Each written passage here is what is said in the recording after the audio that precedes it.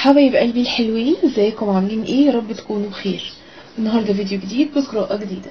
الفيديو النهارده الحقيقة أنا خدته من كومنت آه لبنوتة كانت كاتبة هل أنت المقصود بالذي ينشره يعني آه، إذا كان الشخص اللي أنت هتحطه في بالك لأن دي مش هتنفع على حد واحد دي على أي حد أنت تحطه في بالك وحاسس إن هو بيقصدك باللي بينشره على مواقع التواصل الاجتماعي حاسس إن هو بينزل ستوريهات بينزل بوستات بينزل أي حاجة بيكون قصدك أنت فيها سواء قصدك إنه بيلمح لك بالإعجاب أو بالحب أو سواء قصدك إنه عاوز يرجع تاني في حياتك أو إن هو تعبان من غيرك على حسب حالتك أنت اللي هتقرر.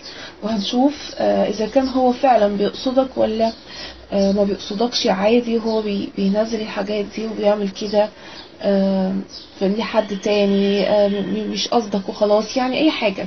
تمام؟ آه كمان ممكن نضيف عليها إذا كان الشخص ده أنت بتشوفه وجها لوجه آه، هل نظراته ليك هل آه، الحركات اللي بيعملها بي- بيبقى قاصد إن هو يعملها في وجودك هل آه، الحاجة دي بيبقى قصدك بيها ولا لا ويا ترى برضه بيبقى قاصد إيه أو عاوز يفهمك إيه. تمام؟ دي هتبقى قراءتنا النهاردة. كمان هنشوف هل يوجد تطور في علاقتكم ببعض يعني سواء ما فيش اعتراف ما بينكم هل هيكون في اعتراف؟ آه طيب لو أنتم منفصلين آه، هل الشخص ده عاوز يرجع تاني في حياتك ويكون في حياتك في تقدم في العلاقة ولا العلاقة واقفة زي ما هي؟ آه، لو أنتوا مرتبطين هل الشخص ده ياخد خطوة وتبتدوا إن أنتوا تبقوا مع بعض في خطوبة أو في علاقة رسمية ولا هيعمل إيه؟ القراءة دي هتبقى بأول حرف من اسم الشخص اللي هتحطه في بالك أو باختيار الأحجار. الحجر الأول الحجر الأحمر.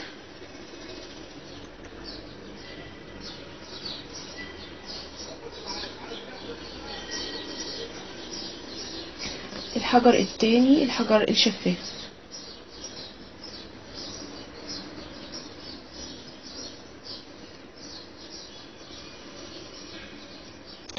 ودي قراءة مجموعة رقم واحد آه والتانية هكتبها لكم تحت في ال description box. طيب لو أنتوا أول مرة تشوفوني يا ريت تشتركوا في القناة تفعلوا زر الجرس عشان يوصلكم كل جديد أنا بعمله. ولو حد عايز قراءة مدفوعة يتواصل معايا على رقمي رقم الواتساب بسيبلكوا دايما تحت في ال description box. نبتدي بأول قراءة.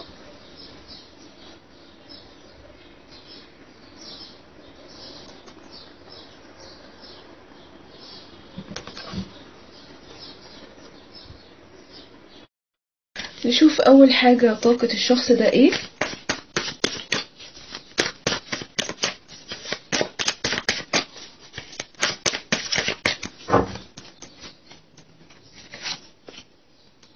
واو مم.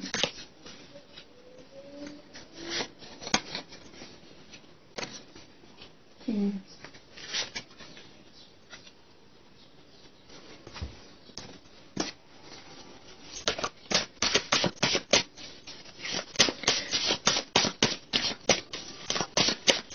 ناخد كمان ورقة من ورق الطاقة طيب هو دلوقتي في طاقة تفكير الشخص ده بيفكر كتير الفترة دي بيفكر في حاجة هيعملها في حاجة آه ناوي إنه يطور من نفسه فيها حاجة مزعلاه حاجة تعباه.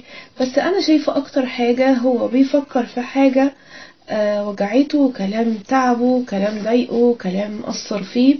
لأن أنا شايفاه في طاقة زعل وفي نفس الوقت بالرغم إن هو في طاقة زعل وبالرغم إن هو في طاقة عصبية الفترة دي شوية وبالرغم إن هو آه في طاقة آه، دفاع عن نفسه أو طاقة إنه عاوز يتكلم مع حد بس ما يبقاش غلطان يعني عاوز يرجع لحد بس ما يبقاش غلطان.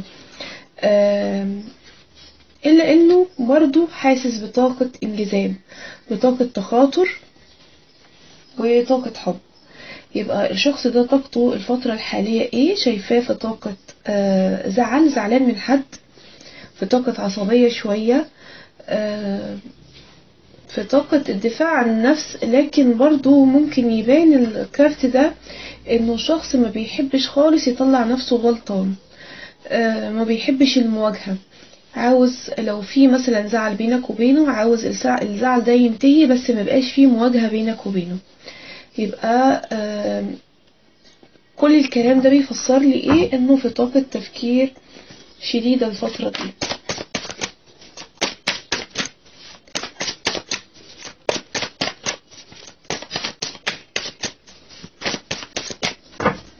حاسة إن هو زعلان متضايق آه، في حاجة.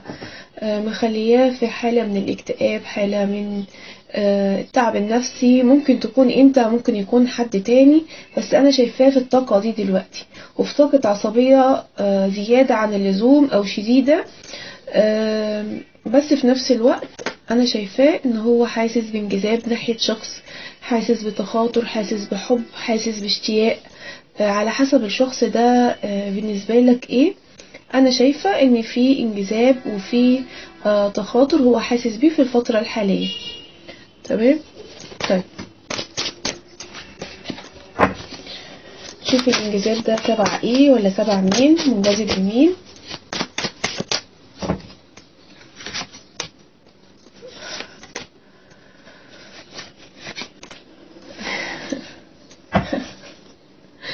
ده شكله شخص انت بتكرش عليه شخص انت معجب بيه. آه، ممكن يكون انت من أصدقائه. هو حاسس بانجذاب وحاسس بحب وحاسس بتخاطر ناحية شخص ناحية شخص الشخص ده بالنسبة له صديق أو آه، في مرحلة الزمالة. الشخص اللي هو منجذب ليه.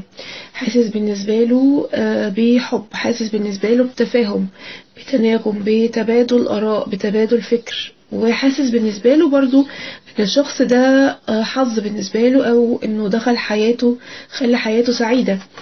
آه كمان آه الشخص اللي هو حاسس بيه ده بيراقبه وعينه عليه على طول. آه يبقى لو أنت داخل تشوف لحد أنت معجب بيه فالشخص ده معجب بيك وحاسس بالنسبة لك أو حاسس من ناحيتك بتخاطر أو حاسس بانجذاب شديد من ناحية من ناحيتك. آه. تمام؟ آه طيب. وانتوا بالنسبة لبعض بالنسبة لبعض دلوقتي أصدقاء. مفيش حاجة غير إن أنتوا أصدقاء بس. طيب.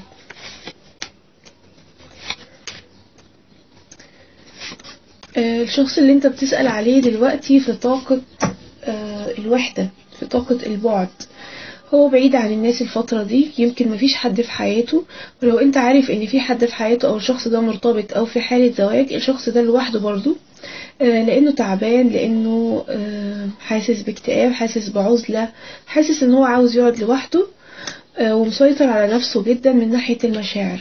بس طاقته طاقة مش كويسة يعني طاقته فيها ألم طاقة تعب طاقة بعد عن الناس طاقة انعزال.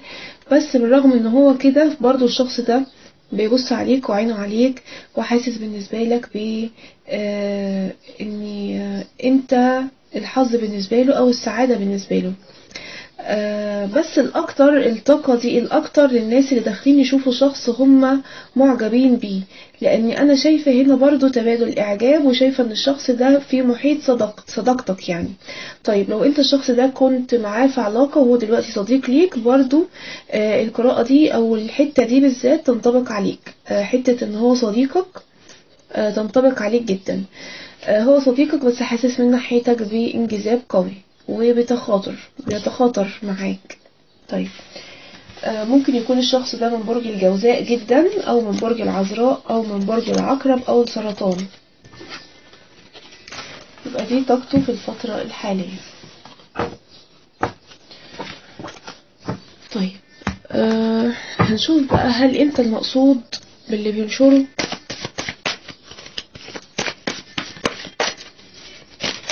هل أنت المقصود بحركاته لو أنت بتبقى معاه في نفس المكان؟ هل قاصد إنه يعمل كده معاك؟ مجموعة رقم واحد.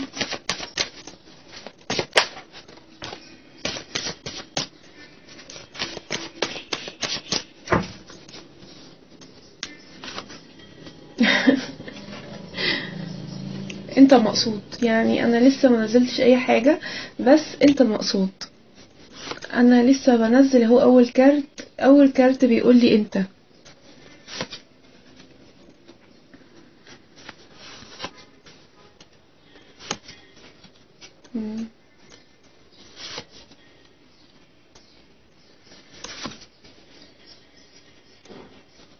في طاقات ثلاثية هنا علاقات ثلاثية.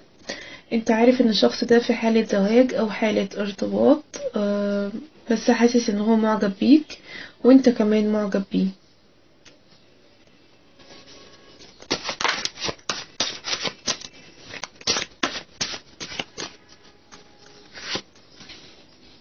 مم.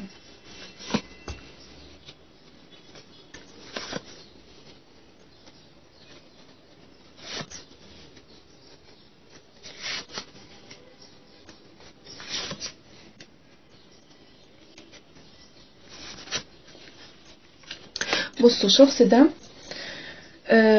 ايا كان هو مين؟ ايا كان هو بالنسبة لك إيه دلوقتي؟ آه، طب أنت معجب بيه؟ أنت انفصلت عنه؟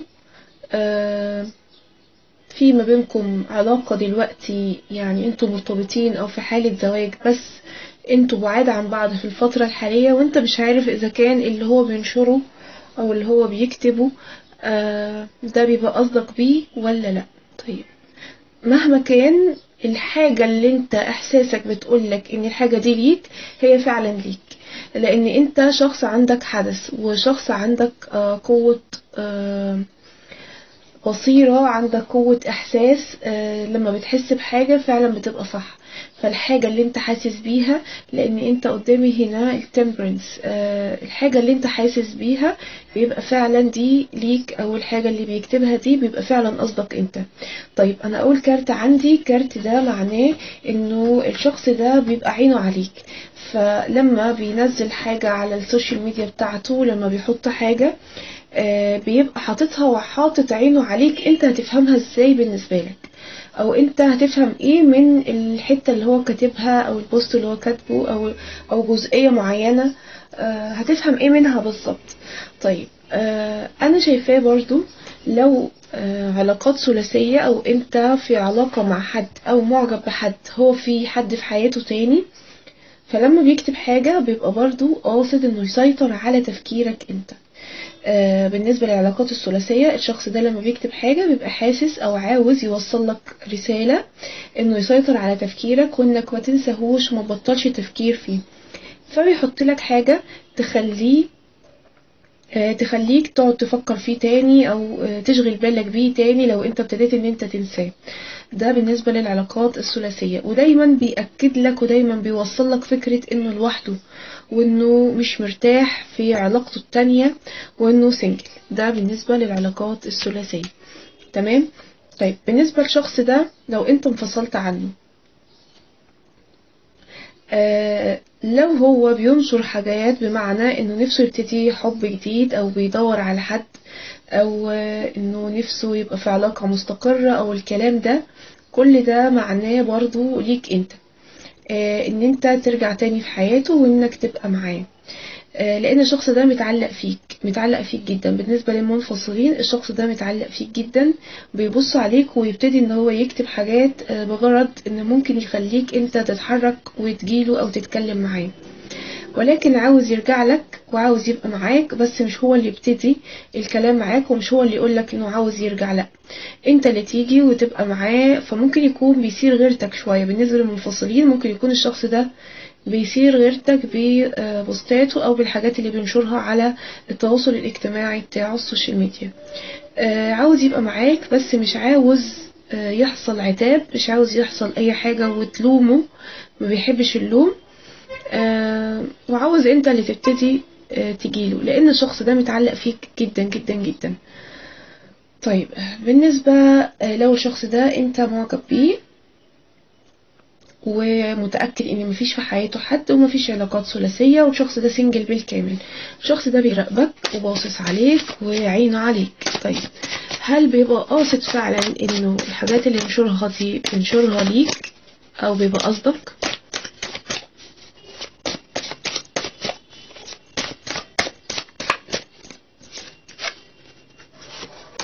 نعمل توضيح.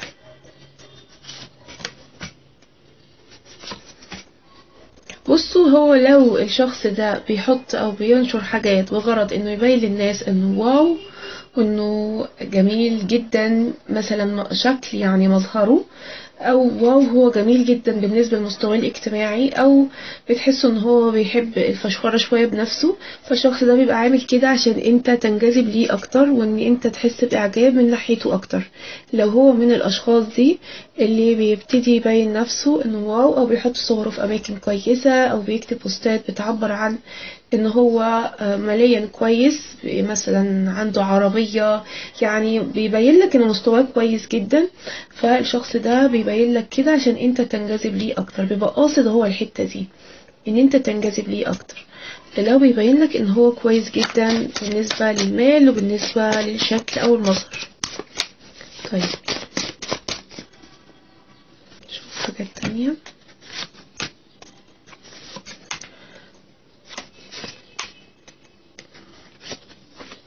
ولو الشخص ده بيبين لك أو بيحط بوستات بغرض إن هو نفسه يلاقي الشخص المناسب يلاقي الشخص اللي يحتويه يلاقي الشخص اللي يكمل معاه حياته اللي يقبله على حلوة وعلى مره أو الحلو اللي فيه والوحش اللي فيه.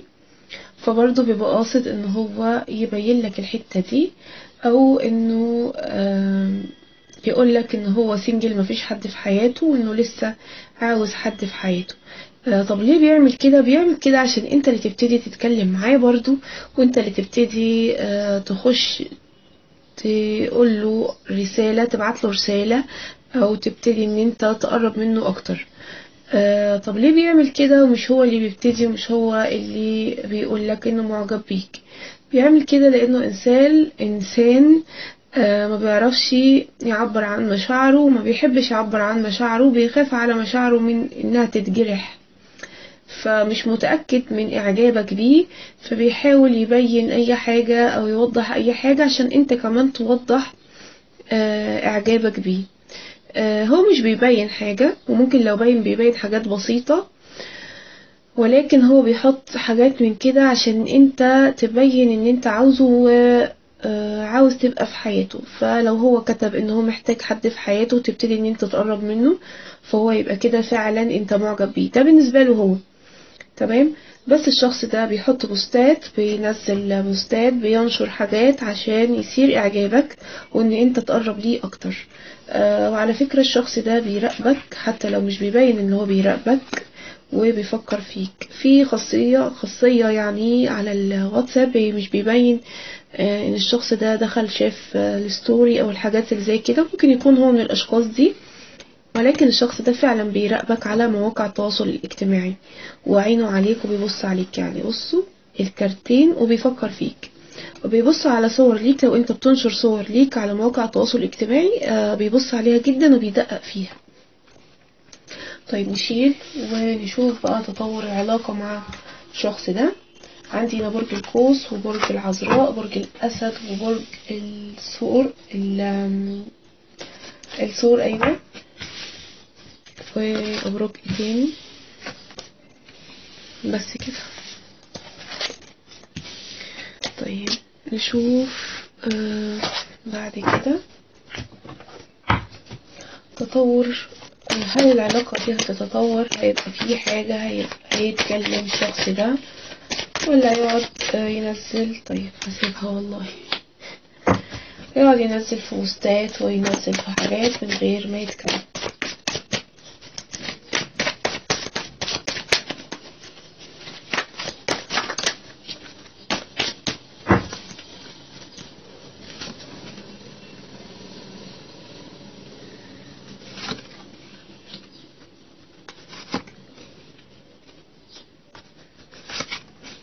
بالنسبة للمنفصلين وانت عاوز إن الشخص ده يرجع لك تاني أو لسه باقي عليه في حياتك فالشخص ده آه إن شاء الله بإذن الله هترجعوا لبعض أنتوا الاتنين.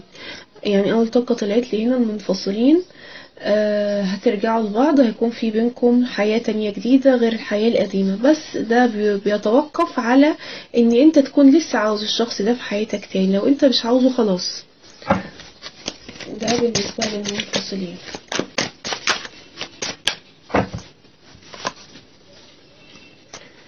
الشخص ده في بينكم أنتوا الاتنين تخاطر أنتوا الاتنين آه، في بينكم آه، تواصل روحي جامد. يعني الكارت ده تاني مرة يطلع.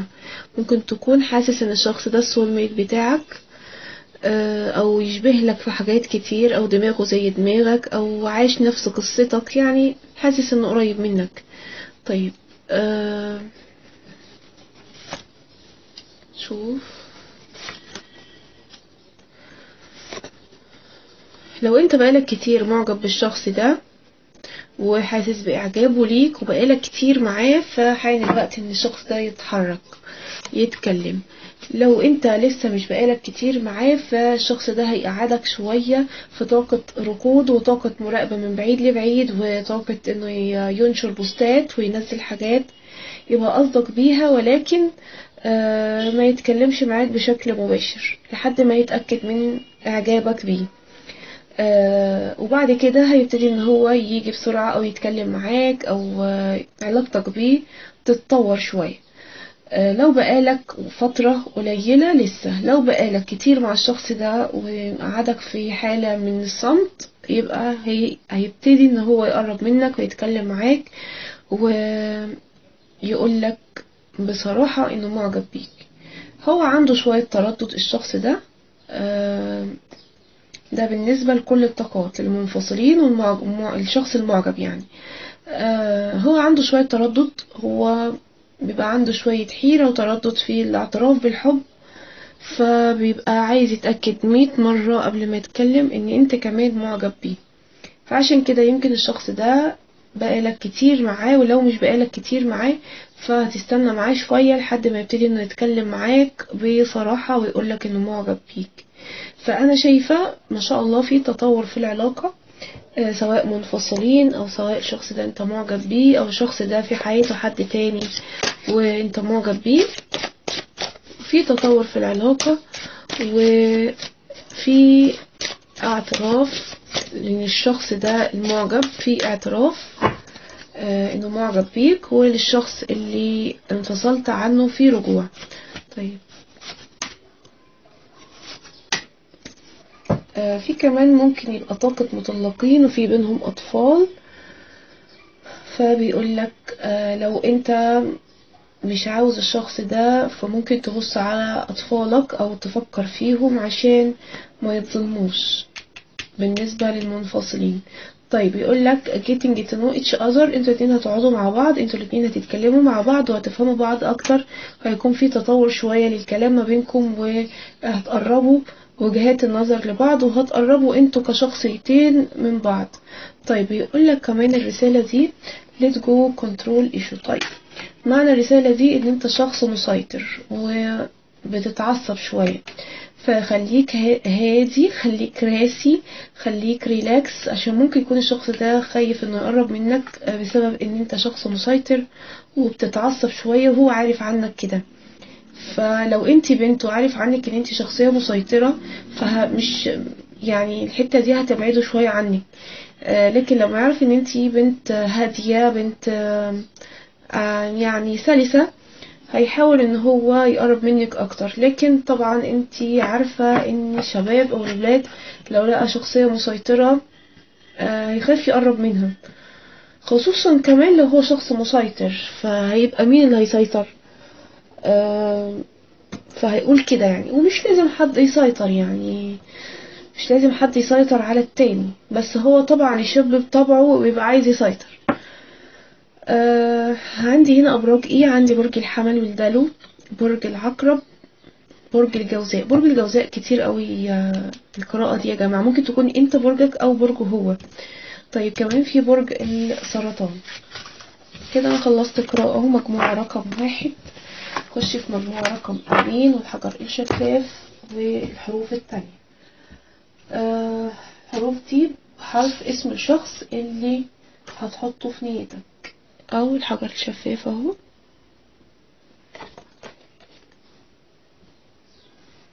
ناخد أول حاجة الطاقة بتاعة الشخص. طيب انتي وقعتي هسيبك ده في طاقة محاسبة للنفس الشخص ده. بيحاسب نفسه بيبص على نفسه وعلى حقيقته. بيحاول يصلح من نفسه بيحاول يشوف آه، هو عمل إيه في حياته غلط هو عمل إيه في حياته صح. يعني زي دلوقتي كده آم، بيحاول إنه يحاسب نفسه أو يقف قدام المراية ويشوف نفسه على حقيقته. طيب نشوف بقى. أكتر طاقته إيه الفترة دي أو بيعمل إيه. هو كله ليه مجروح وكله ليه زعلان وكله ليه تعبان الفترة دي؟ فيه إيه؟ ياه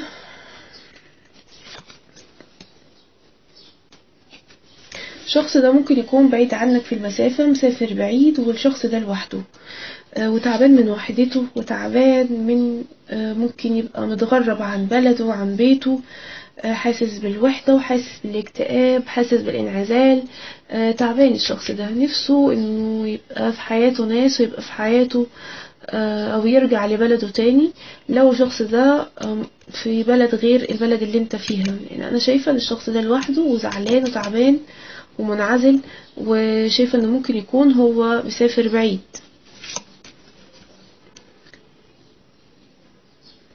بص أنا قلت لك هو قاعد بيحاسب نفسه قاعد بيوزن أموره قاعد بيشوف هو عمل إيه غلط وعمل إيه صح هو عارف ناس مين صح.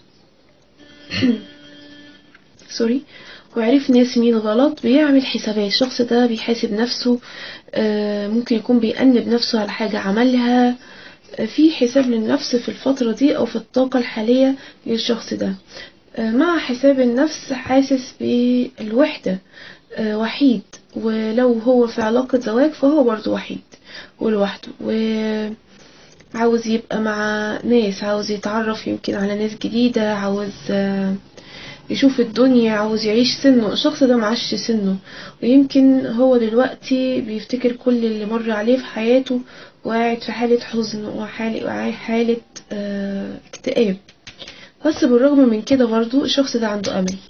بالرغم إنه في حالة حزن وفي حالة اكتئاب وعزلة وممكن يكون هو فعلا بعيد عن بلده وعن بيته وعن أهله ولكن هو برضه عنده أمل في بكرة وعنده أمل إن اللي اللي مر عليه من صعب إن ربنا هيعوضه خير بعد كده.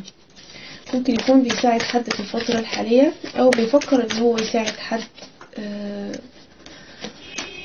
ممكن يساعد حد محتاج أو يساعد حد من أهله من صحابه أو أي حاجة يعني. طيب هو كمان في حالة تركيز وفي حالة مراقبة على حد أو على شيء آه وفي حالة تخاطر. الشخص ده بيتخاطر معاك. الشخص ده بيتخاطر معاك. يعني مجموعة رقم واحد بيتخاطر ومجموعة رقم اتنين بيتخاطر. طيب أنا هشوف قاعد بيراقب مين عشان نتأكد برضه. بيراقب ومركز مع حد. ترى مين؟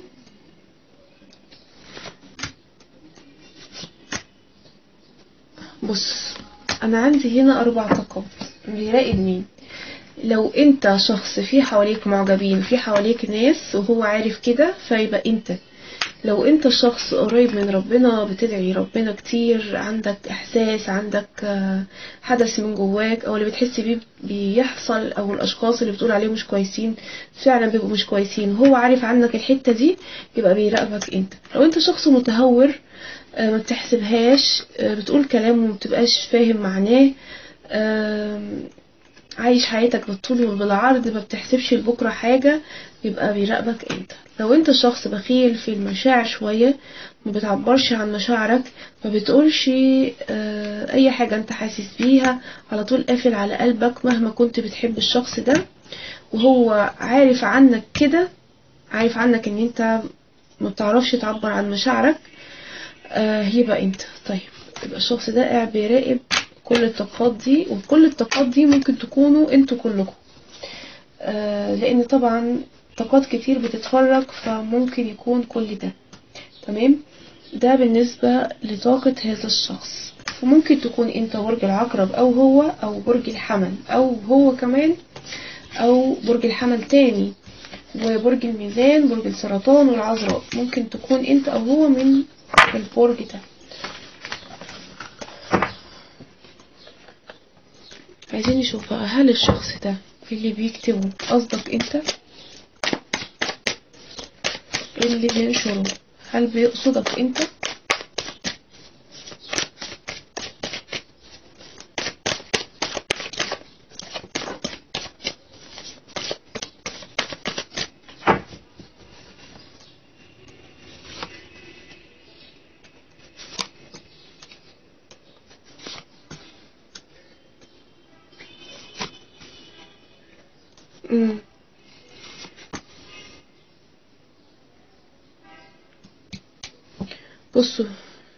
بالنسبة للمنفصلين آه في طاقات منفصلين هنا.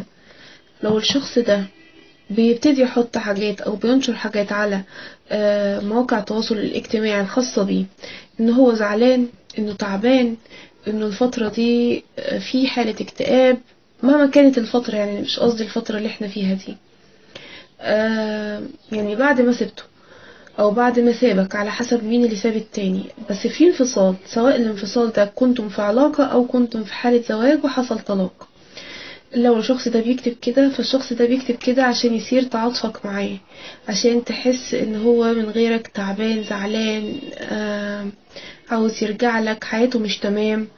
آه فهو بيحاول إن هو يثير آه اهتمامك بيه ويثير تعاطفك وحنيتك عشان عارف إن أنت شخص حنين. طيب في طاقة تانية آه الشخص ده لو بينزل آه وبينشر حاجات بوستات آه إنه في حواليه ناس كتير وإن هو مبسوط قوي ويعني بصوا يعني يا ده يا ده العكس خالص يا إما زعلان قوي يا إما مبسوط وفي حواليه ناس كتير في ناس معجبين بيه برضه بيعمل كده بهدف إنه يثير غيرتك. الشخص ده بيبقى قاصد إنه يضايقك يثير غيرتك أو يثير تعاطفك. يعني في الطاقة دي وفي الطاقة دي. تمام؟ ده بالنسبة للناس المنفصلين. وبالرغم من ذلك الشخص ده بيعمل كده هو مركز معاك جدا جدا جدا. مهما كان هو بيكتب إيه مركز معاك أنت. مهما كان حتى لو في ناس حواليه مركز معاك أنت. تمام؟ ده بالنسبة أول طاقة طلعت لي طاقة المنفصلين. طيب. آه للأشخاص اللي بيتكلم معاهم وبيحكي معاهم ويحس إن هو خلاص قرب منهم ده للناس المعجبين أو الكراش. آه بيحس إن هو قرب منهم وإن هو خلاص هيبتدي إنه يتكلم ويبتدي إنه يعترف. هوب مرة واحدة يختفي الشخص ده. اللي يتكلم معاك شوية ويختفي شوية يتكلم معاك شوية ويختفي شوية وأنا شايفة إن الشخص ده ممكن يكون في حتة تانية أو في بلد تانية غير اللي انت فيها. أنا شايفة كده. ممكن يكون انت بتتواصل معاه فقط عن طريق التواصل الاجتماعي أو ممكن تكون شفته مرة أو مرتين بس هو نقل من المكان اللي انت فيه لبلد بعيدة أو مكان بعيد. وانتوا دلوقتي بتتواصلوا عن طريق التواصل الاجتماعي مش بتشوفوا بعض كتير. الشخص ده بيكلمك شوية وبيبعد عنك شوية. طيب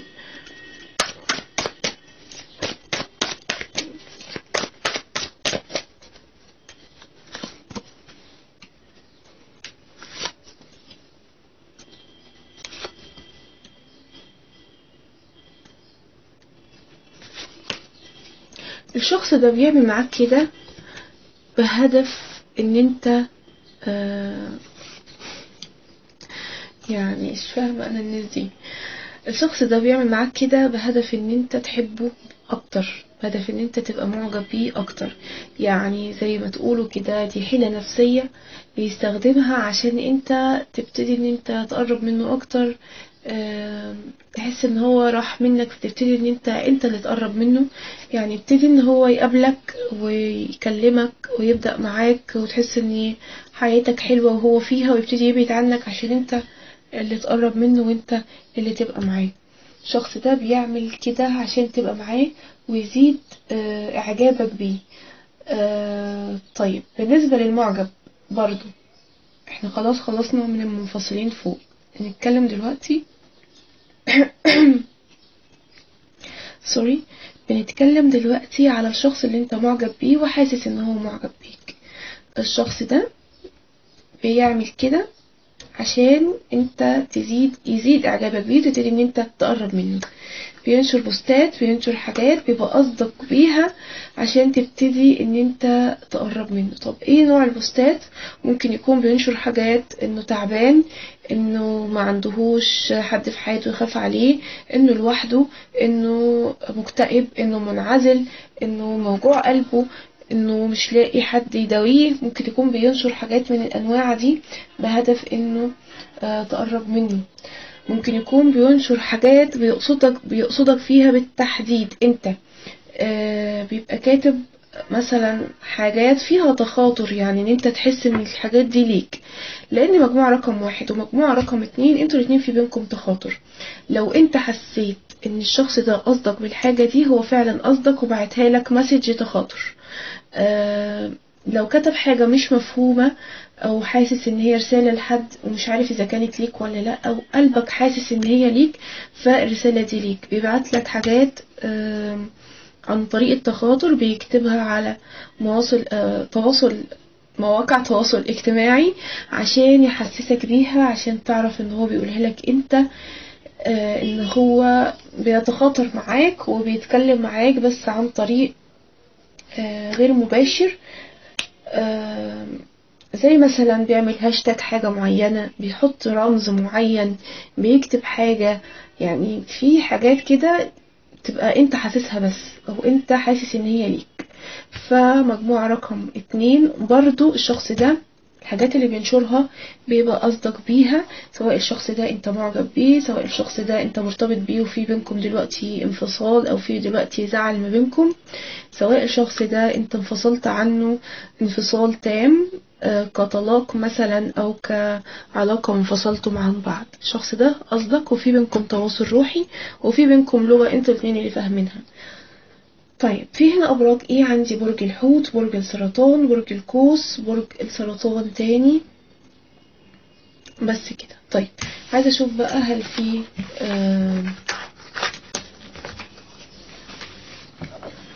تطور في علاقتكم ببعض. ولا؟ لا.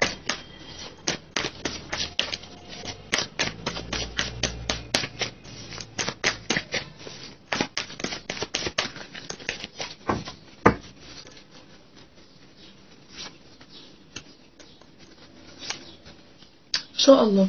بصوا في انفراجة. في انفراجة هتيجي عليكم أنتوا الاتنين. في علاقتكم ببعض سواء أنتوا في علاقة سواء أنتوا انفصلتوا سواء أنتوا معجبين ببعض يعني في انفراجة هتحصل. الكارت ده والكارت ده الاتنين بيقولوا لي إن في انفراجة وفي أمل في تجديد في بدايات جديدة هتحصل ما بينكم أنتوا الاتنين.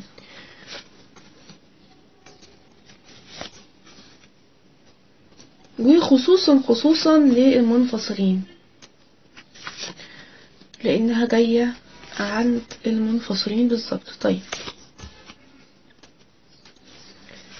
بعد كده آه بصوا لو أنتوا مش بتتكلموا مع بعض وانت حاسس إن الشخص ده لوحده أو خد جنب لوحده هيبتدي إنه يطلع من العزلة اللي هو فيها دي زي ما طلع في طاقته إن هو في عزلة هيبتدي إن هو يطلع من العزلة اللي هو فيها دي ومن عدم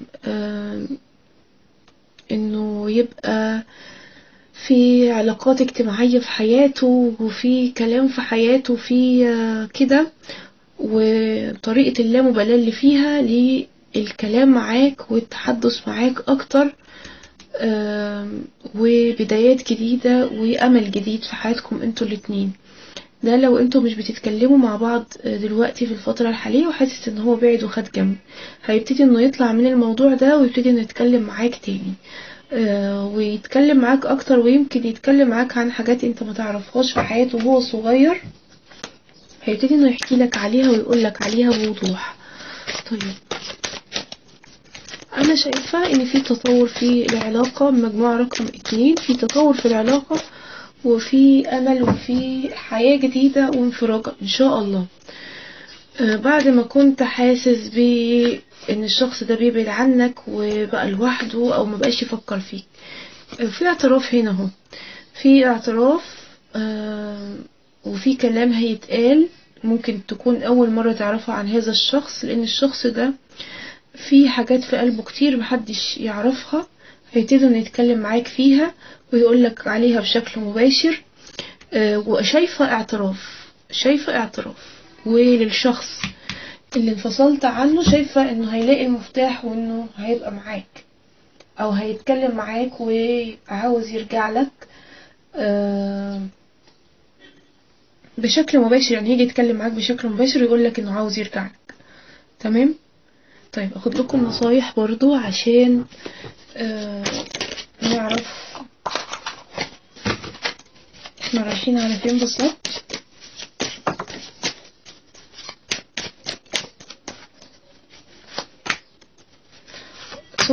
soulmate وفي chemistry بيقول لك آه إن أنت مع soulmate calling in your soulmate كلمه. زي ما قلت لك في لغة ما بينكم أنتوا الاتنين أنتوا اللي فاهمينها بس.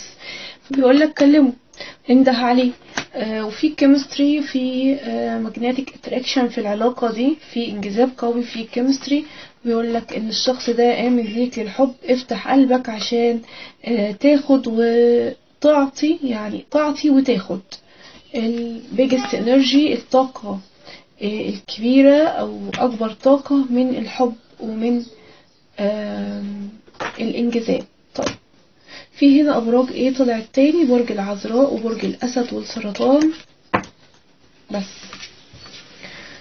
طيب أنا كده خلصت قراءة النهاردة. يا رب تكون قراءة النهاردة عجبتكم وانطبقت عليكم. يا ريت ما تنسونيش في ال like والاشتراك في القناة وتفعيل زر الجرس عشان يوصلكم كل جديد أنا بعمله. ولو حد عاوز قراءة مدفوعة يتواصل معايا على رقمي رقم الواتساب بس برضه دايما تحت في ال description box. شكرا ليكم. باي باي.